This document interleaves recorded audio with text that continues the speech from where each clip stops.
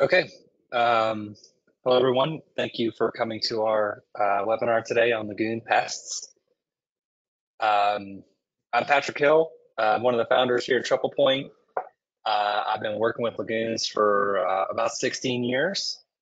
Uh, presented at uh, various conferences, both on the state level and at WEFTEC, and probably worked with hundreds of lagoon systems, mainly in working on upgrade solutions. Um, so today we're, we're going to talk about um, common lagoon pests and problems um, and their solutions. We actually did a poll to our Facebook group um, to see what kind of lagoon pests or things that people wanted before we created this presentation. And we these are the ones we came up with, uh, that the group came up with, snails, redworms, and midgeflies, muskrats, geese, and duckweed. Um, for those who aren't part of our Facebook group, I'll put a little plug in for the Facebook group here. Uh, it's a great, uh, it's called the Lagoons Do It Better Facebook group. You can access it via our website or you can just search on Facebook. Uh, there's over 700 operators in that group right now, and it's just a bunch of people that, you know, people put questions up there and operators help out operators. It's a, it's quite a, quite a good community and good resource if you need extra help with lagoons. So this is um, this is part of our masterclass series, which we started doing about a year ago. Uh, there are six key modules in the masterclass series. There's lagoon process, hydraulics, biosolids, algae, nutrients, data analysis, and troubleshooting. Uh, and we're in the lagoon process section. We actually uh, recorded three webinars in the spring, and this will be the third webinar here at the end of the year. And we'll do some more webinars next spring, but we'll be, I think we're pretty close to being done with the lagoon process section and we'll move on to hydraulics and biosolids and algae and then nutrients, etc. So uh, we hope one day to put all these up on our online platform. And if you need any PCU or PDH credits, you can get them. And then uh, maybe you'll get certified as a certified lagoon master uh, at the end of this. So for those who don't know TriplePoint, um, we are a company that focuses exclusively on lagoon systems. Um, and you know, we've done over the last 16 years about 200 lagoon upgrades. Um, and so during that that process of doing all those upgrades, we, we've developed this proven process, what we call the Lagoons Do It Better process, um, that that is designed to give you consistent results, right? We, we implement this over and over and over again at different sites. We prove and tweak and, and we get the right results out of it. So it starts with diagnosing lagoon problem. What's your problem? What are your objectives? What are your core issues at the plant? Whether you're trying to meet a permit, a new permit requirement, or you're trying to replace old uh, infrastructure, old aeration system, for example, and improve efficiency, or whether you're trying to expand capacity, we want to take the time to gather the information we need in order to understand what that problem is. Then we move into the phase of tailoring, and this is part of our tailoring process where we take our solution, our knowledge, our understanding, and help to work with you, the lagoon owner, or the operator or the engineer to develop a solution that works best for the system. And that's evaluating alternatives, reviewing, discussing, and refining and creating detailed uh, plans and specifications. And then finally, we follow through with help in the implementation, the commissioning, and ultimately the long run operation of the system. And we stand behind every system we do. We call it, our we say we do a guarantee. We will do what it takes to make sure the system's going to work. And if it's not working, we'll come out and fix it. Um, so, you know, we do this, we have this process. So what? Well, the so what is you know, if you have a lagoon upgrade and you need to do because you got an old system again, or you have to increase capacity or have to meet a new limit, you know, um, you really got to give that system open heart surgery. And if you personally need an open heart surgery, would you go to a general practitioner, somebody who does all manner of different types of uh, surgery or help with people, or would you go to a specialist? And you go to a specialist because they know what they're doing. They have a proven process. They do this is all they do. It's all they focus on, and they do it in day in day out. And that's us at Triple Point. So that's my one and only plug in this presentation. Um, if you do need help on anything, any project you're working on Lagoon related, we are more than happy to be of assistance. So lagoon pests. Um, so we're going to talk about snails, redworms and midge flies, muskrats, geese, and duckweed in this presentation. We're going to talk about why each of these things are a problem, and then we're going to talk about what the solutions are for these kinds of things. Before I get into the first snails uh, one, I just want to share this funny story. So this system here in Iowa is um, one of our, our sort of flagship nitrox systems. Um, it's uh, city of DeSoto, right outside of Des Moines. And I was talking to the operator, Dan Van Langen, who's a good friend of mine. And he was telling me how uh, one day they're going doing the rounds, they get out to the lagoon, and all of a sudden they just see tons of decapitated fish just laying around the lagoon. And they're just like, they, they, they thought the apocalypse was upon them. You know, it was just so odd. There didn't seem to be any rhyme or reason to it. And so they started asking around, you know, talk to Rural Water, talk to the DNR, like, what's going on here? Why did this happen? And it turns out somebody at the DNR said that they'd seen this before where river otter had come up to the lagoon, hunted all the fish, bit off its heads, and then dropped them on the berm and went right back into the into the into the river right next to the DeSoto. And they hadn't seen it before at DeSoto, but they'd seen it in other facilities.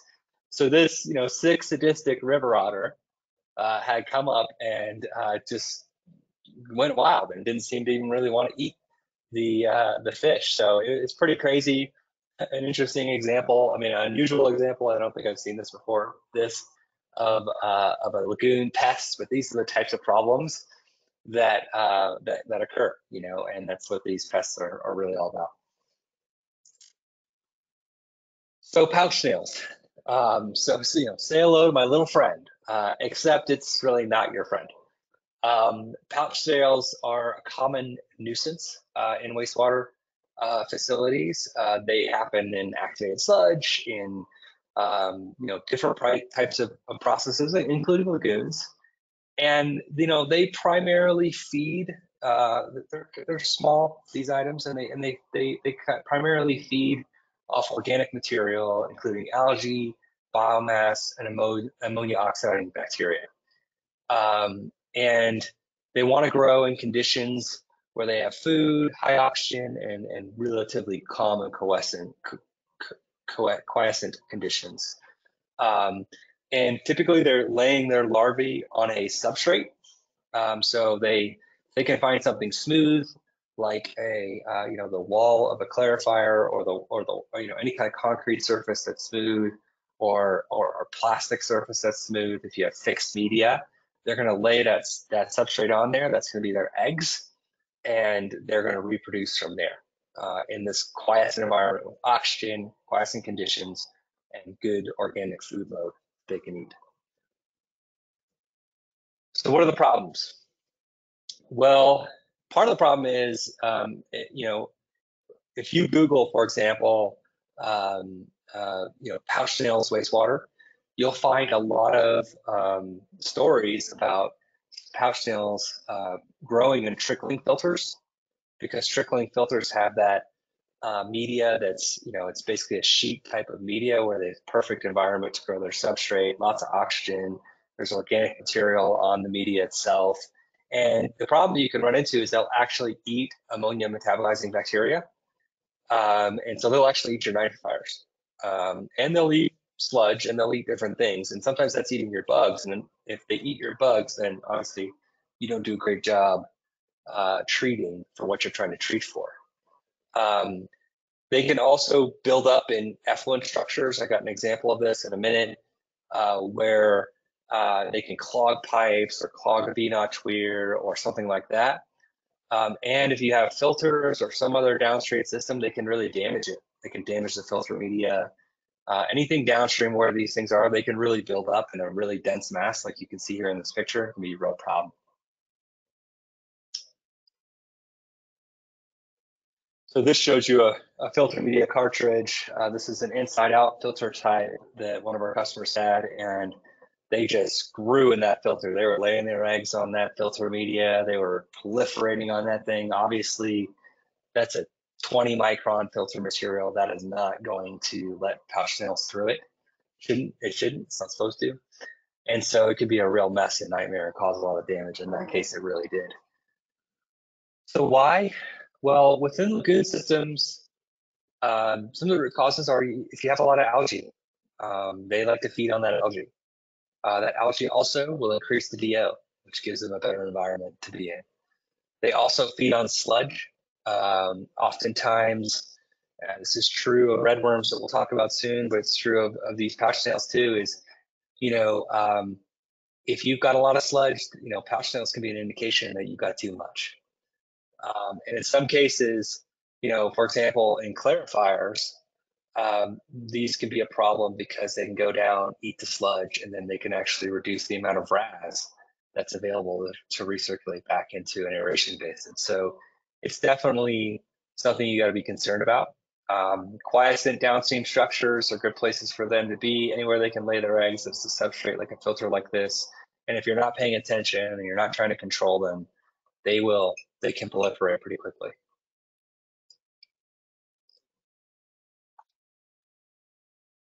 So solutions. Well, one thing I would say is, you know, you really do within a lagoon really want to inspect your downstream structures because eventually they'll flow their way down to some kind of effluent structure. So this shows you one of our nitrox systems in Missouri. This is actually one of our first. Um, the water flows from the lagoon through these two reactor cells there, the two big concrete cells, and then flows from there into a V-notch weir. And the V-notch weir basically controls um, the flow uh, and measures the flow right there at that structure. And one day the operator called me and he's like, hey, guess what I found on the weir? and he sent me this picture, right? Just tons of these ucky, gucky snails that built up in this V-notch weir structure. And it just was the perfect environment. Really high DO, maybe some algae passing through there. They got some food, they got DO, they got concrete to lay their substrate on. They're loving it. And he ended up removing, um, you know, two wheelbarrows full of these things. So obviously going forward, he's going to keep an eye on that structure because he knows that can happen. And hopefully, if he catches these things after, you know, if they start to proliferate, he can remove them and then ultimately spray those surfaces with a 3% hypo solution, which will just kill the larvae. Um, that's sort of like a translucent slime uh, for these, they're essentially the eggs for these snails, and prevent that from happening again. The other thing is again, they can be, because they feed on algae, um, it can be an indication that you have a lot of algae and that maybe you should think about trying to control the algae. Uh, now, there are a number of ways to do this. Um, Dr. Linvil Rich, who's kind of famous in the lagoon world, um, did this study where he looked at the effect of aeration on algae growth, uh, chlorophyll levels, which is an indicator of algae growth. And he came up with this graph here, kind of showing the sort of watts per meters cubed of water um, that you would need in order to kind of successfully control algae. Um, so you could certainly add aeration to your lagoons. Aeration, not a slam dunk solution to an algae problem, uh, but certainly is something that helps.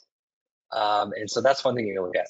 The other thing with algae is you can look at covering a lagoon, and oftentimes if you uh, you don't necessarily have to cover all of your lagoons, you can cover just your final polishing cell in many cases, uh, such as this small shell here. And I have a whole presentation on algae that we'll do. I think we have a whole section of the master class on algae, so I'll get more into this. But basically, if you're limiting the sunlight that the algae has to in order to photosynthesize, you're going to limit the algae growth, um, and that can can really be a good thing. Now, if you want extra points, you can do aeration plus shading or plus a cover. Uh, and that really helps to knock out your algae. So this study here was done on a lake, um, and they basically had three uh, sections of the lake. They had one section with uh, where they did nothing to it. They had one confined section where they put just a cover on, and then they had one that had cover plus aeration. And you can see here the drop in chlorophyll or the TSS in this case, but we converted it from chlorophyll for uh, the number of days that these things were to cover. So this the um, the line here was um, the yellow line is for the control. This is the, the thing they did nothing on. The gray line is for the cover, just cover.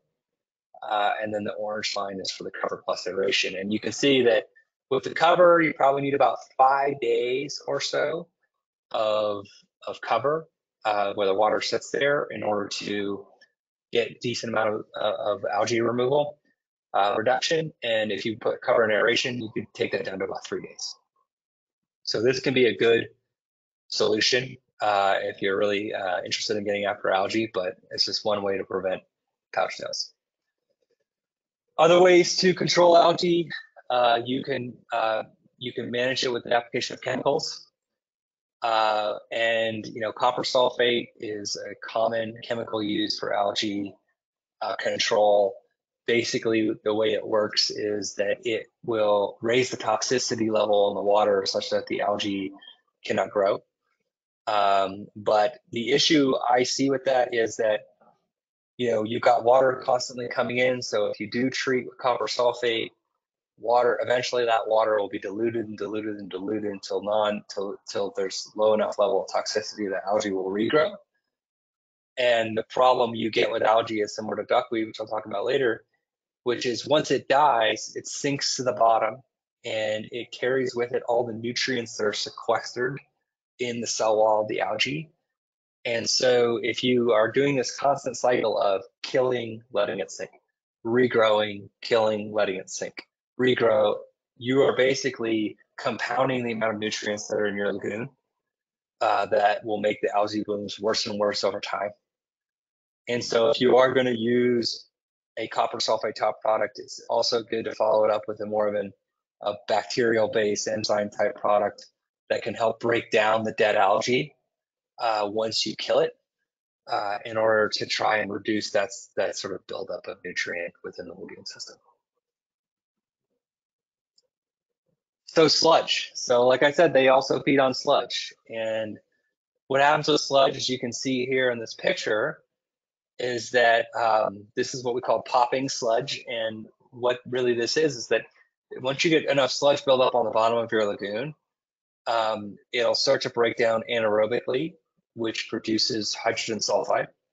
Those little hydrogen sulfide bubbles start to build up underneath some of the sludge mats on the bottom. And eventually, once you get enough of that hydrogen sulfide, it'll float the sludge to the surface. It, it literally just acts like a, a ballast, or not a ballast, but a, a flotation uh, device uh, uh in order to, to have a top lagoon. So I actually went on this lagoon. It was pretty nasty with the amount of popping sludge. This is an extreme example, but it, it kind of shows you, you know, that if you can, if you are seeing popping sludge like this on your lagoon, it's usually an indicator that you have too much sludge. Um, or it, maybe it's an indicator that you don't have enough aeration in your basin as well. Um, and so if you can kind of mitigate that either by looking at ways to break down the sludge, which I'll talk more detail about in a minute, or or actually aeration, so you really have anaerobic conditions that can kind of help break down some of the sludge. So first step to doing that is really measuring how much sludge you have. And we have a whole section of the masterclass on biosolids, so I'm not going to talk about it too much. But you know, doing sludge surveying can be really helpful. Um, this shows you kind of one example of a sludge survey that we did. Uh, actually, Steve Harris did this uh, at a plant in Arizona, where he went around and measured the sludge depth uh, across the lagoon at you know nine nine points per lagoon for that size of lagoon, but it could be 20 points or 25 points, depending on how big your lagoons are. And so when you do these measurements and you kind of find that you've got over about two feet of sludge and two feet being kind of the operative uh, sludge storage design for a lagoon system, you need to think about planning to remove sludge at that point.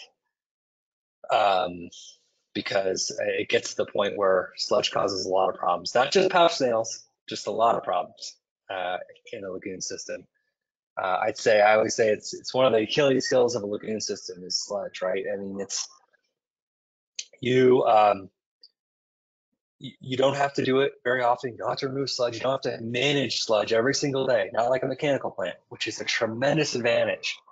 But at some point, you've got to go in there 25, 30 years later, and you've got to clean the sludge off the bottom because if you don't, it leads to all sorts of problems, uh, pouch snails included, but all sorts of problems within your lagoon system. So one way to manage sludge is to try to break it down in situ in place. Uh, I mentioned aeration before. I'll just give you a little case study here. Uh, this was actually a oil refining plant that we uh, worked with. Uh, they didn't they don't do hydrocarbon oil. They did cooking oil, so peanut oil, things like that that you would use to to deep fry your turkey at Thanksgiving. And um, you know they had this big lagoon, 16 feet deep, with these surface aerators on it, pounding away. And the issue with the surface aerators is often they're really not able to mix the entire volume of the lagoon. They can maybe mix the first five feet of water, but they're not going to mix the total 16 feet of water that this lagoon had. And so they came to us and they're like, hey, can we drop in some of your aerators to see uh, see what the effect is is going to be on the sludge? So we said, sure. So our aerator sits on the bottom. This is a CFD model showing you kind of how it works, and it bubbles from the bottom to the top. And what it does is it creates mixing and adds oxygen into the water, and specifically trying to to to mix that sludge so that we can actually get some removal of that sludge just by biological degradation of it. So we started out, first thing we did, we did a sludge survey. Uh, we went out, we took all these different points on the lagoon. We measured uh, sludge depth.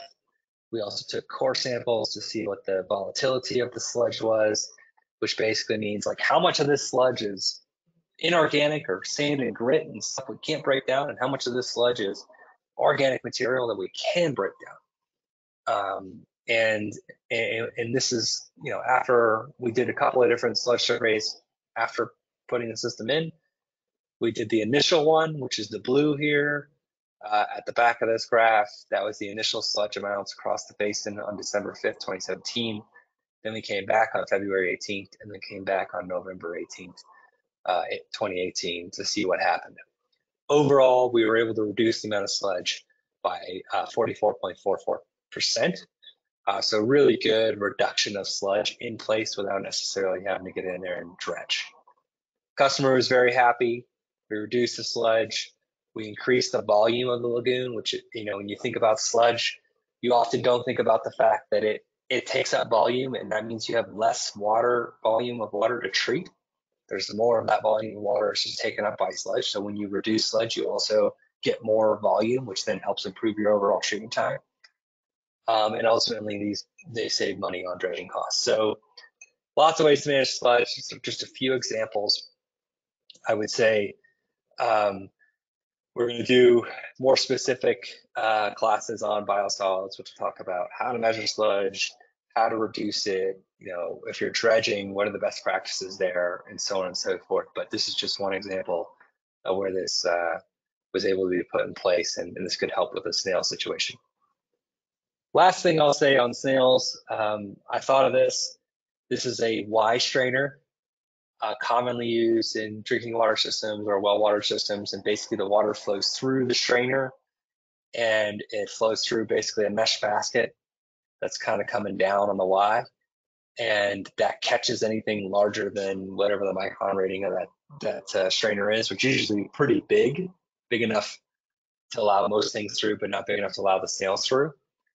And if you put this in line, let's say you're you're having issues with a downstream structure, if you put this in line flowing to that downstream structure, it can catch some of that stuff and potentially, you know, uh, avoid some of the snail issues. You can flush it, uh, install a, val a valve down here at the bottom and flush it when you need to, things like that. So something to consider, pretty cheap and an inexpensive way to do it relative to putting a cover on the lagoon or removing sludge but uh, certainly something to look at. So redworms and midge flies.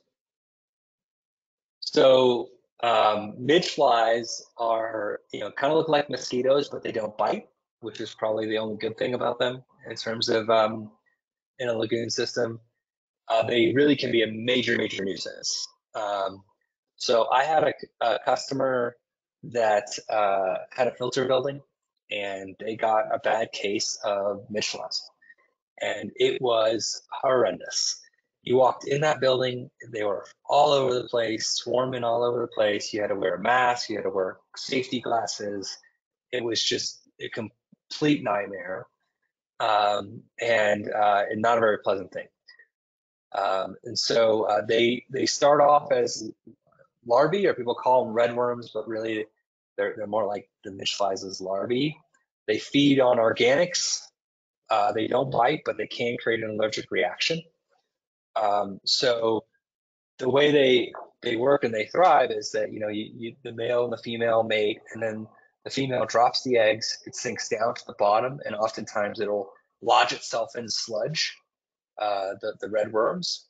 It's typically when you see them, and I'll show you a video here in a minute, you see them just like swimming around in sludge. They're kind of like they call them red worms because they're they're worms in the sense that they like to kind of be in the dirt, uh, but in this case, the sludge because they actually eat the sludge is their food source, but really they're larvae.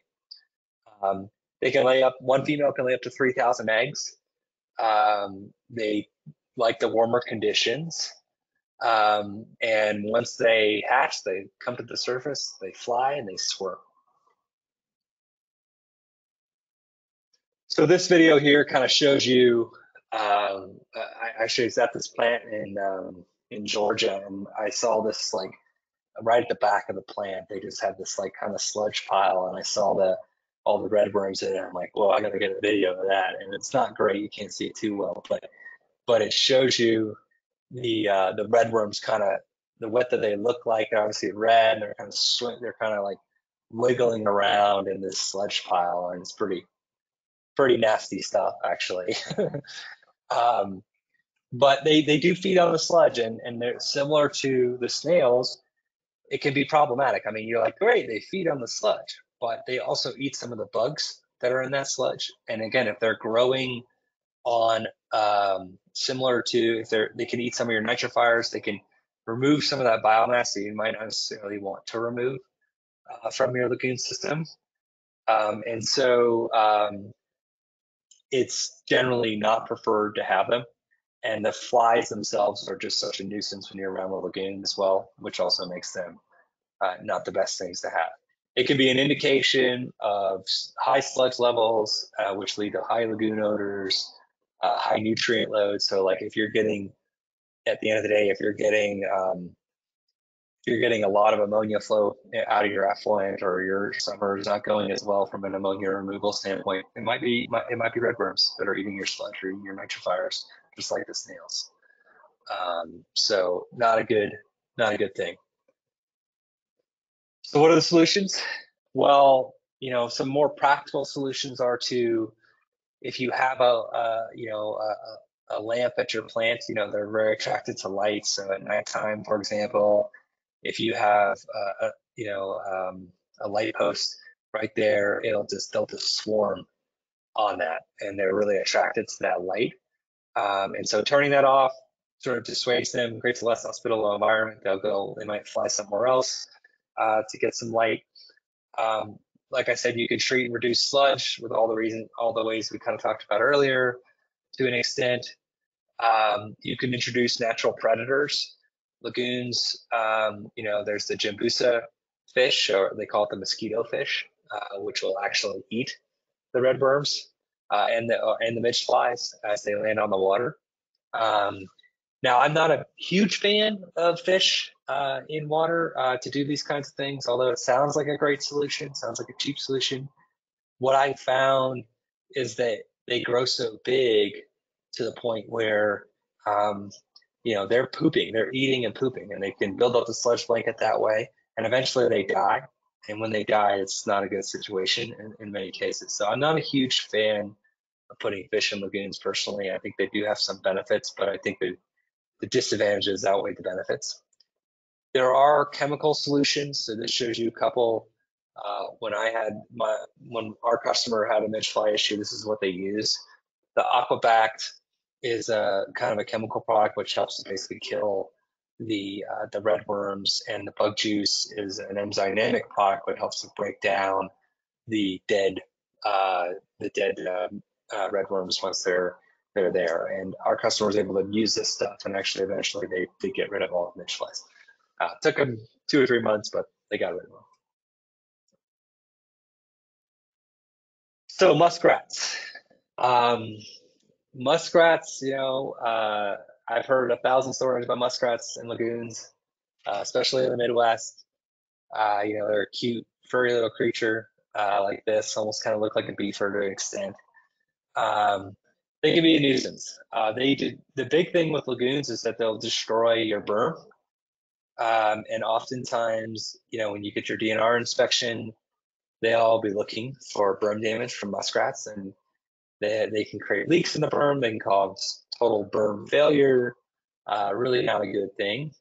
The other thing we see is that they tend to chew through wires. Uh, so I can't tell you how many times I've heard of a muskrat chewing through a transducer wire, you know, at a lift station, right? We've all heard and seen that. They just kind of like that rubbery wire texture. Um, they're omnivores. They do eat plants, uh, some amphibians like uh, turtles and small fish, but largely in the new context, complete nuisance.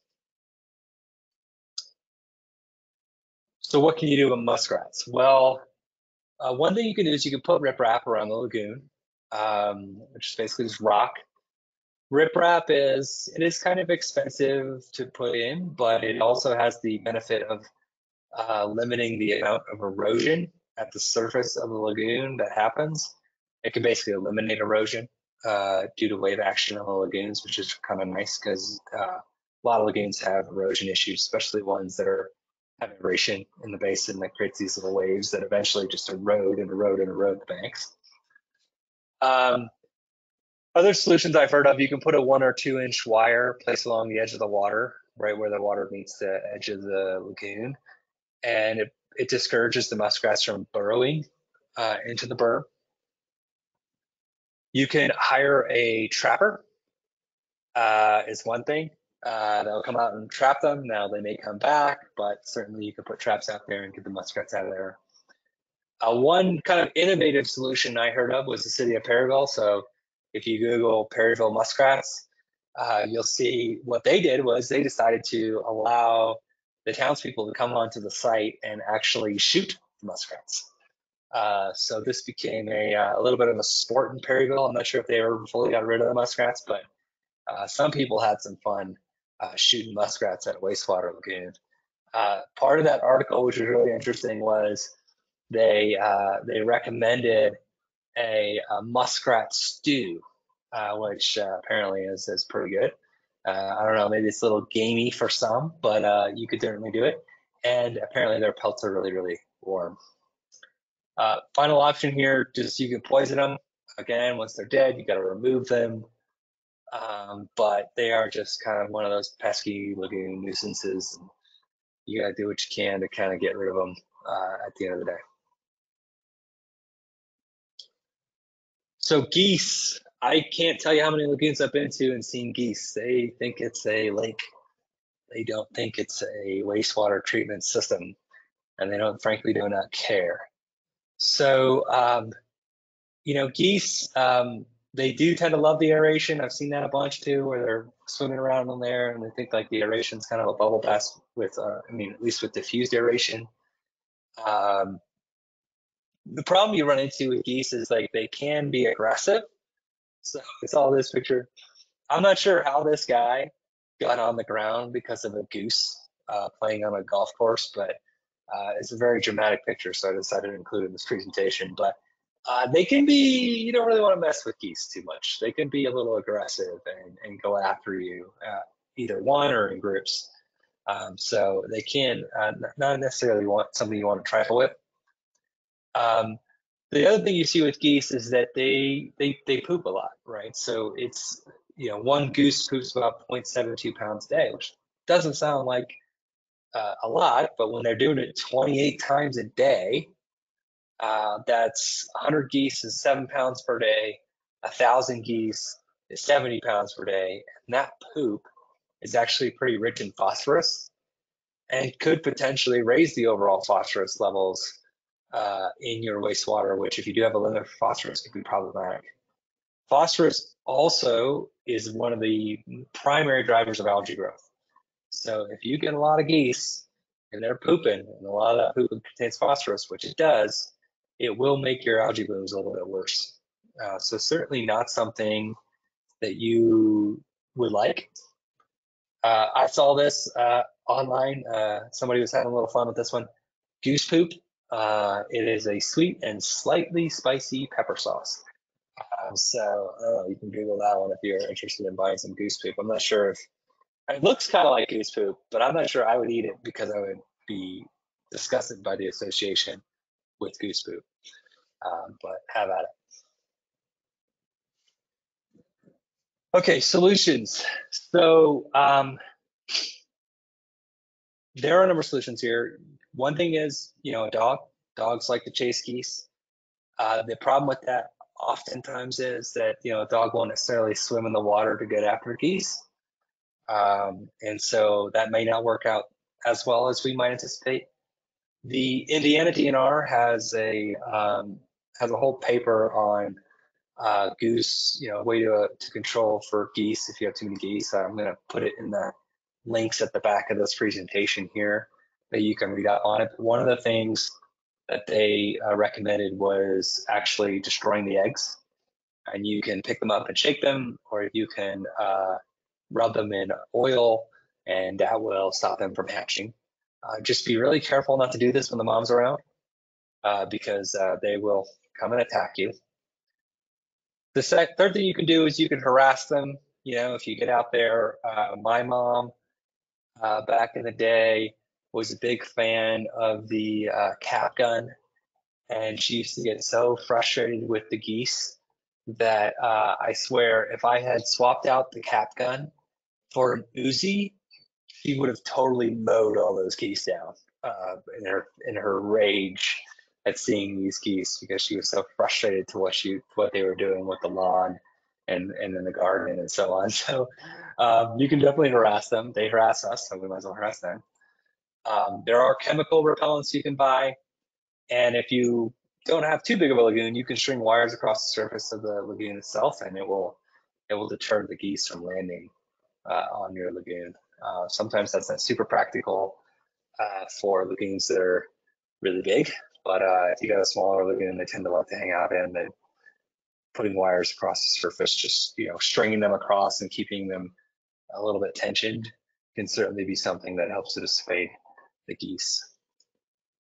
The next option I found, which I thought was hilarious, uh, I'm going to let the video speak for itself on this one because uh, this is this is brilliant, and this ha happens to come from uh, my hometown here in Denver.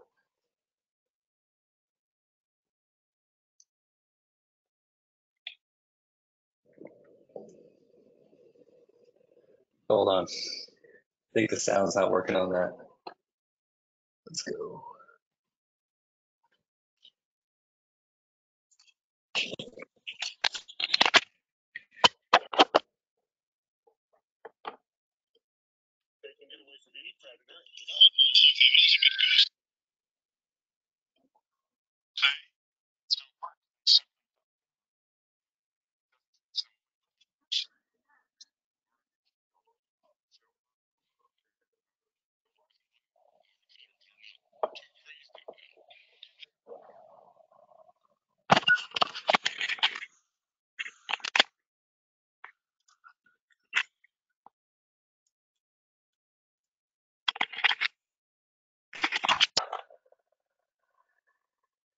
Okay, that does not seem to be working from a sound standpoint. Um, I apologize for that. But um, the general throughput here is this this Goosinator thing. It has a remote control and you can fly it around and it'll go on water, it'll go on grass, and it just basically scares the geese away, which I thought was kind of fun. Uh, I'll also put that in the link at the back of the presentation. If you're out there, you want to have a little bit of fun, you want to chase some geese around, you can maybe spend a little comic relief an hour or two of your day, uh, or not maybe less than that, maybe just uh, 15, 30 minutes of your day uh, when the geese are out there during migration season. That sounds like a good plan to me. So duckweed. Um, this is also came up on the list as a kind of a pond pest, a pond nuisance. Um, I would say um, you know, duckweed is basically, it's not algae people do often confuse it with algae, but it's a leafy aquatic plant found worldwide. It spreads uh, through the movement of animals. So a duck, I think they call it duckweed because a duck flies from one pond, it kind of gets caught on their fur, then lands in another pond, and that's how they transport duckweed from one pond to the other. It proliferates very quickly in the right conditions. It can double its biomass in two days. It can cover an entire acre within 45 days. And it likes quiescent, uh, slow moving water where nutrients, um, where there's lots of nutrients that can be used. It still uses sort of that nitrogen and phosphorus uh, type of nutrients in order to grow. That's one of the key ingredients it needs. And if it gets a lot of uh, nitrogen and phosphorus in the water, it's going to grow. It's, it's a food source. So um, I think, you know, with duckweed, it, you know, it, it, can become one of the biggest problems with duckweed is it, it, it can be a, a nutrient sink uh, within the water. So it's similar to, to algae and that when it grows, it actually sucks up the nitrogen and phosphorus that's in the water. And then if you go out there and you kill it with chemicals, for example, or you wait till the wintertime and it dies off, it'll just die off naturally. It'll sink down to the bottom and then that'll become part of your sludge blanket. So it keeps all those nutrients in and then it regrows again the next summer. So it basically prevents those nutrients from flowing out of your plant. And by preventing those nutrients from flowing out of your plant, it's causing a continual buildup of nutrients over time, uh, which is ultimately not great uh, for the system. It can lead to more duckweed, or in some cases, some years it'll switch over to algae, and that's when it becomes a real a real, real problem. Now, there was a time at, where there was sort of this dream of duckweed, right? Like duckweed, you're saying, well, look, it sucks up these nutrients, it sucks up nitrogen, it sucks up phosphorus. That's great. What if we can then harvest the duckweed out of the water in order to remove those nutrients from the water? So this lagoon here is actually a lagoon we worked on in Louisiana, where they had all these little uh, square structures you can see um, where they're basically algae duckweed, sorry, duckweed growing pods. And they would prevent the duckweed from blowing on one side of the lagoon or whatever, and they would just stick in there and it would create this ideal environment. And then they would go in and harvest the duckweed. And by harvesting the duckweed, they harvest the nutrients out of the pond. And then you could potentially use that duckweed for as a fertilizer or as a feed source or or so on. There's a couple problems with this approach, I think, from a harvesting duckweed standpoint. And This is why it probably does not use really. Number one is duckweed doesn't grow as fast in the wintertime. And if you're up north, obviously your lagoons are going to be frozen in the wintertime, so you're not growing any duckweed. You're not removing any nutrients then. Two, there's it's pretty labor intensive to remove the duckweed. Uh, when it's set up in these grids like this, they had a duckweed harvesting machine, but you know it's a mechanical piece of equipment uh, and eventually just doesn't work that well. And then duckweed can have pathogens and heavy metals as part of it. So if you do get that, it makes it limits the amount of uses you have for the resulting duckweed. So it was a dream at one point, I think, to to try and use this sort of mother nature to help us with nutrient removal. But in the end, it's not something that's super practical. Now, personally, I think that you know duckweed is more our friend than our foe when it comes to lagoon systems. Uh, there are downsides, but um, you know uh, as long as you're not pulling duckweed out of your effluent pipe and you're drawing from underneath the duckweed mat, you can get pretty clean water. It really acts as a natural cover to the lagoon and it prevents algae from growing, just like any other cover would. Um, and so I've seen some ponds and you know in low-lying areas that have really nice covering of duckweed, where you know they have beautiful water coming out. It looks like glacial water. It's so clean, right? Because there's no algae in it, because the duckweed's crowding out all the algae, and it allows the solids to settle within a polishing lagoon before it goes out. Um, so it can be really, really good. The thing with duckweed is if you can overcome the nutrient sink problem, uh, then I think it becomes a, a, better solution. So this is a, a, skimmer that I saw online that I thought was really interesting. Uh, it kind of works like a, um, it kind of works like a, uh, like almost like a, a, a, scum skimmer within a clarifier where it sucks water into it and then it pours it over the water over into this this uh, screen, and then the duckweed stays on the top of the screen, and the water flows through the screen, and you can have that kind of dump into a uh, trash can or whatever you want. Um, so if you could sustainably harvest the duckweed or sustainably keep the duckweed under control, then I think duckweed can be a you know more of a friend than a foe from a nuisance standpoint. Um, but you know beyond that, the only other issue I find with duckweed is that it really um, it uh what was the other issue with duckweed? So um, it, it's not consistently growing one place, and if you do get wind, it'll blow to one side of the lagoon, and, and so that could be a bit challenging. You can take on chemical solutions to duckweed, just like you can take on chemical solutions to algae, similar results and similar problems. You can also use grass carp to eat duckweed. So this is similar to um, the mayfly solution. Grass carp will swim around the lagoon. They'll eat all the duckweed. Uh, they'll then poop a lot, uh, uh, and that poop will sink to the bottom, contribute to the sludge blanket, and eventually that grass carp will die. Um, back in the day when I first started at Triplepoint, I had to, on a few occasions, go out to a customer site and help them clean up a bunch of dead grass carp. And I mean, it was pretty nasty having to uh, pull uh, dead, decaying fish uh, out of the water, put it in trash bags, and throw it away. So, not recommended. Uh, I don't really like using fish and lagoons, like I said before, but certainly something that can and has been done. Finally, you know, with duckweed, you can aerate.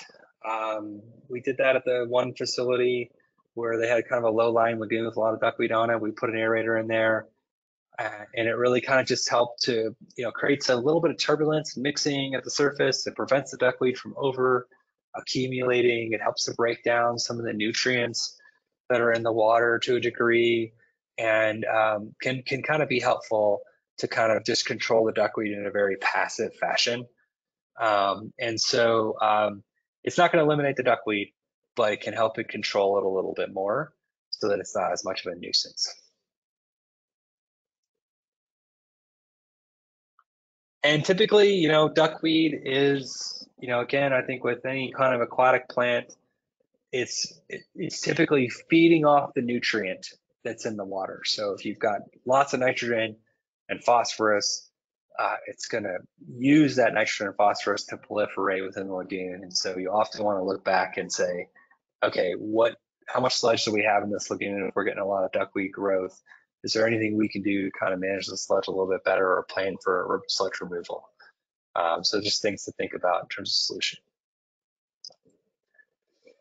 So that's it. That's all I had planned for today. I'll have a moment here to do Q&A. Um, all of these webinars end up on our Lagoon University uh, online platform. You can go on there, get CU and PDH credits, um, and anytime you want. And so uh, we really try to build this to be helpful and to be a resource to people.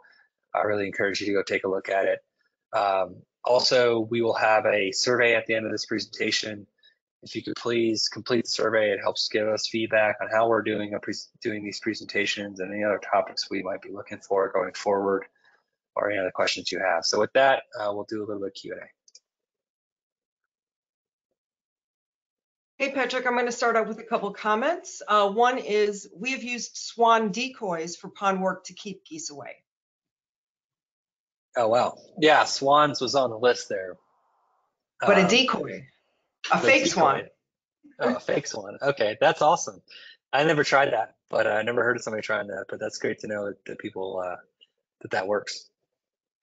Um, here's another. Uh, harassing geese is great until you have a lab tech familiar with federal code reflecting a federal violation for harassment of Canada geese or possibly nesting geese. So we don't recommend retracting, retracting my statement to harass the geese. Yeah, don't get in trouble with the feds. Okay. Um, here's the first question. Um, salamanders are a real problem here. That's in Idaho, uh, especially when they get into the chlorine contact chamber. Any advice? I haven't. I haven't heard of that one. I apologize. We'll look into it. Um, so uh, can you clarify you're against using fish such as carp or koi? Yeah, so I don't know that koi fish would survive in a lagoon, but but I've certainly seen grass carp and other types of fish.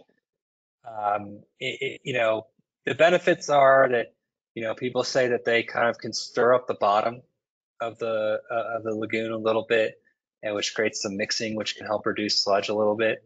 Um, the downside is they do eat the, the, algae, and you know, again, if you get a, the Gambusia fish, will eat, um, you know, will eat the midge flies on the surface and any mosquitoes that are around. But all they're doing is just consuming that stuff, turning it into their excrement, and then that's now sinking down to the bottom and remaining in the lagoon. So I found you know, I don't know that, you know, a lot of the lagoons that use fish, I found like you look at them, they just look, the water clarity is really not great.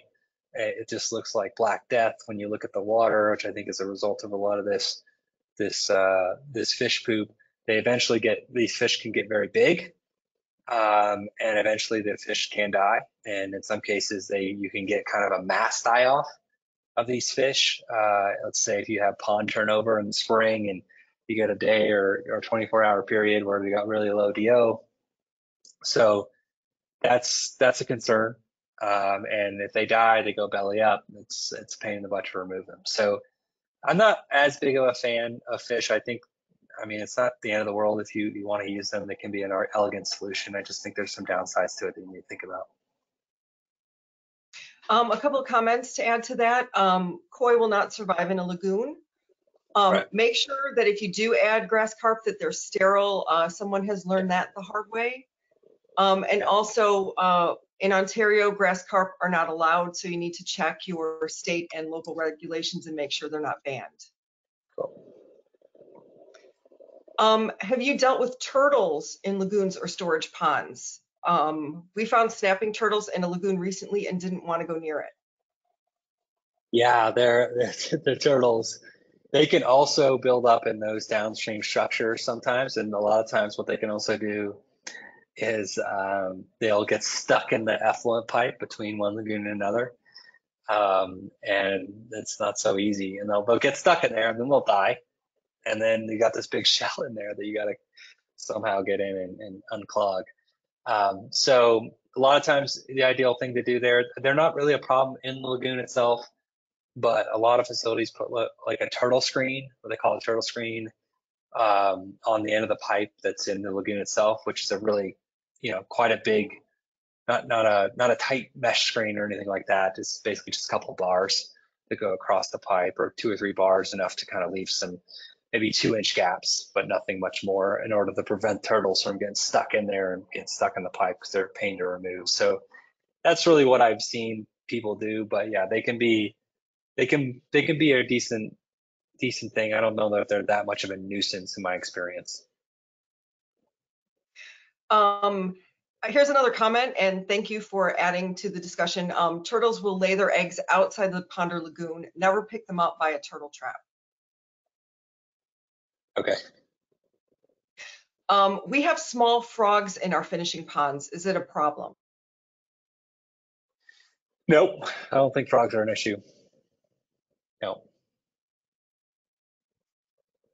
Uh, what about ultrasonic transmitters for algae control?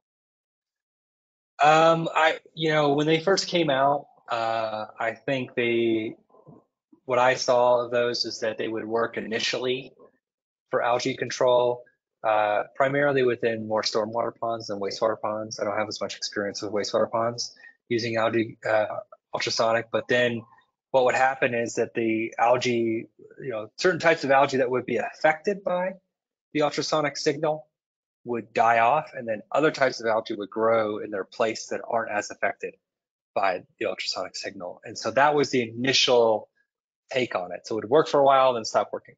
These days, there are companies that have fancy ultrasonic units that vary the type of signal, and some that are even cooler than that that really uh, vary the type of signal and are taking measurements of uh, chlorophyll in real time in order to adjust the signal based on that.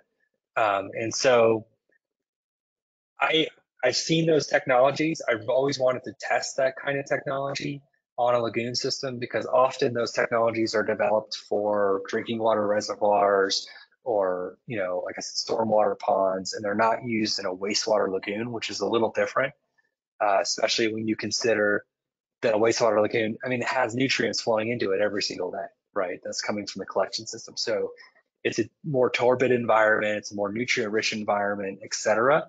So it's a much tougher environment than a drinking water reservoir to control algae in. Um, and so I, I, I, was always wanting to try it. I've never had it. I never personally tried it. We haven't tried it as a company, but um, you know, uh, it could work. It could not work. I'm not entirely sure uh, with the more modern ones. But I think like some of the basic ones at the beginning, one transmitter, one signal. I don't. I really don't have much faith that that'll work uh, over the long run in the lagoon. Any suggestions for gophers, moles, and voles digging into dikes? Gophers. Um, I think it's similar to muskrats.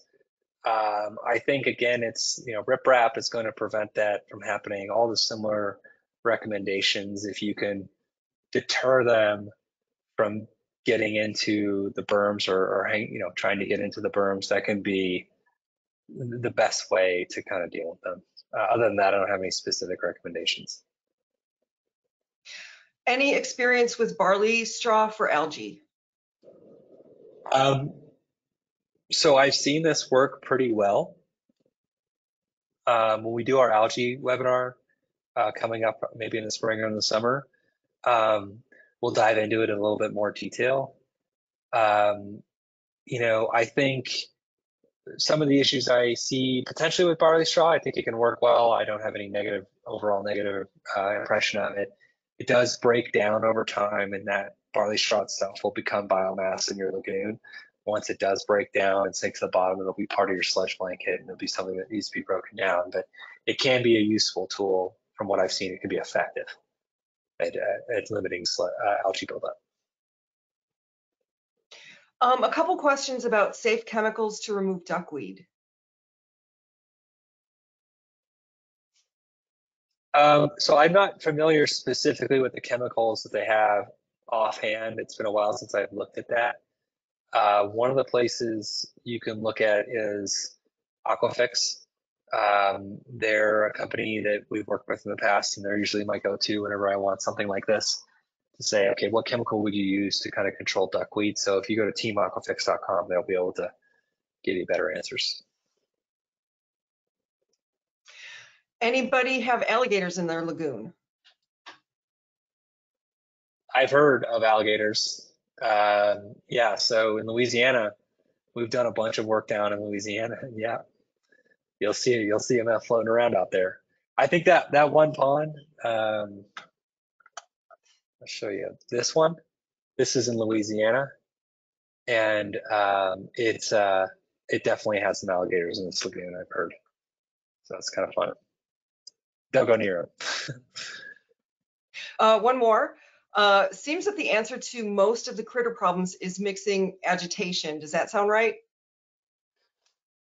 Yeah, I mean, I think I think you know mixing is just a great thing for wastewater lagoons. Um, and if you can agitate the top of the water and mix it, and you know, anytime you can add air, it's going to be beneficial to the overall treatment process. It's going to prevent some of the not so good things from happening. So I think that definitely helps. I don't think it's like if if you are talking about an odor issue with your lagoon, I would say aeration is pretty slam dunk at solving that problem, um, assuming you put enough aeration in there to do it.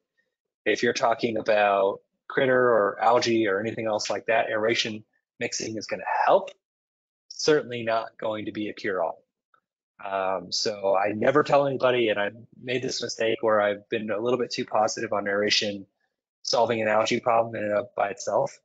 And then people come back and they're like, well, it didn't solve my problem. I'm like, well, I didn't say it would solve your problem.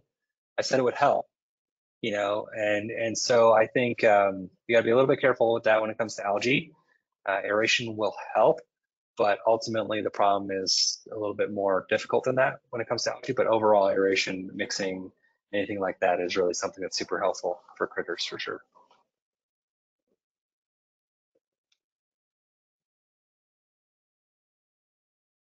I think that's all the time for questions. Cool. Well, thank you so much for coming. This is my reference list here. Uh, if you want to check any of these things out, we will be sending out again a survey. At the end of this, please complete the survey if you're looking for CE or PDHA credit. Uh, Eve will be getting back to you with those certificates and that information. Thank you so much for coming today. Have a wonderful rest of your week and holidays.